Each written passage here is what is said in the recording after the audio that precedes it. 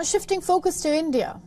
Even the moon is not enough. After successfully landing on the lunar surface, ISRO, the Indian Space Agency, has now given itself an ambitious target of sending an astronaut to the moon by 2040.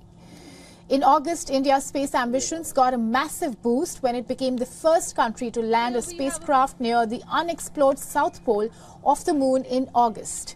Chandrayaan 3's success made India the fourth nation to achieve a soft landing. After that success, India aimed for the sun. On 2nd September, it launched a rocket to study the sun. Aditya L1 is the first space-based Indian mission to study the sun. On Saturday, the Indian Space Agency will conduct the first test for the Gaganyaan mission. ISRO plans to demonstrate its human spaceflight spaceflight capability by sending a human crew in an orbit of 400 kilometers and bringing them safely back to Earth. Indian Prime Minister Narendra Modi today addressed a high-level meeting to assess the progress of India's Gaganyaan mission and to outline the future of country's space exploration endeavors. Prime Minister Modi also called on the scientists to work on missions to Venus and Mars.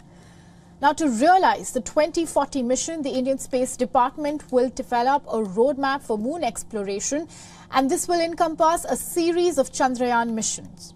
It will also require the development of a next generation launch vehicle. Work is on for the construction of a new launch pad and the setting up of human centric laboratories and associated technologies. Now, clearly, sky is not the limit for India's space ambitions.